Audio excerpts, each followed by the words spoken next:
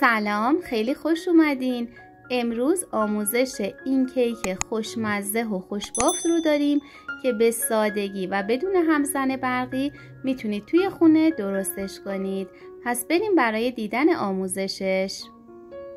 سه عدد تخم مرغ به دمای محیط رسیده رو به همراه نصف قاشق چایخوری وانیل و 110 گرم معادل یک دوم پیمان شکر داخل ظرفی میریزم با همزن دستی حدود دو سه دقیقه می‌زنم تا اینکه شکر داخل تخم مرغ ها حل بشه 100 میلی لیتر معادل نصف پیمان روغن مایه رو هم اضافه و مخلوط می کنم.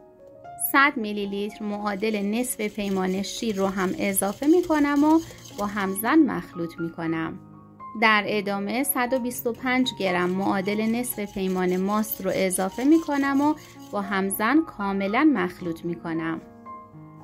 240 گرم معادل دو پیمان آرد رو به همراه دو قاشق چایخوری بیکینگ پودر طی دو مرحله روی مایه کیکم علک می کنم و با همزن به خوبی مخلوط می کنم.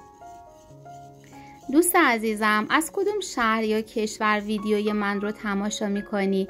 برای من خیلی جالبه که بدونم. خوشحال میشم که توی کامنت برام بنویسی.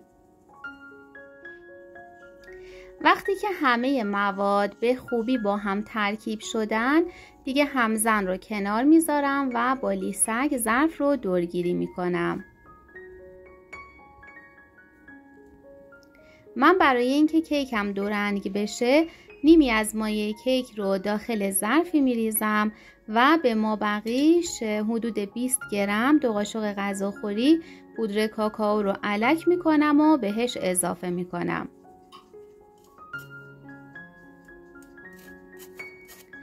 30 میلی لیتر معادل 3 قاشق غذاخوری شیر رو هم اضافه می کنم و حالا با همزن کاملا مخلوط می کنم تا مایه شکلاتی کیک من هم آماده بشه.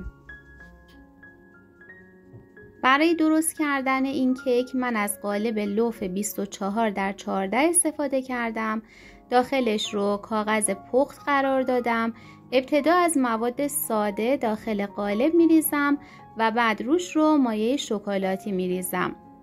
این کار رو مرتب تکرار می کنم تا اینکه مایه کیک من تموم بشه.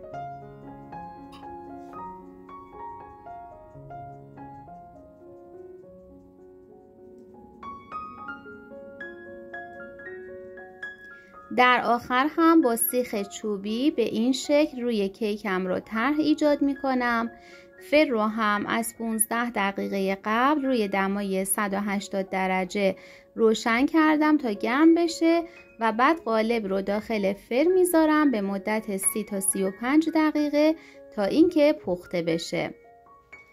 بعد از اینکه کیکم پخته شد می‌ذارم خنک بشه و بعد کیک رو از قالب بیرون میارم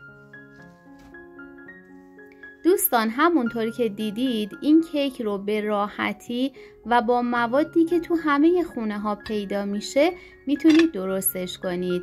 مطمئن باشید که همه اعضای خانواده هم از تمش لذت می‌برن.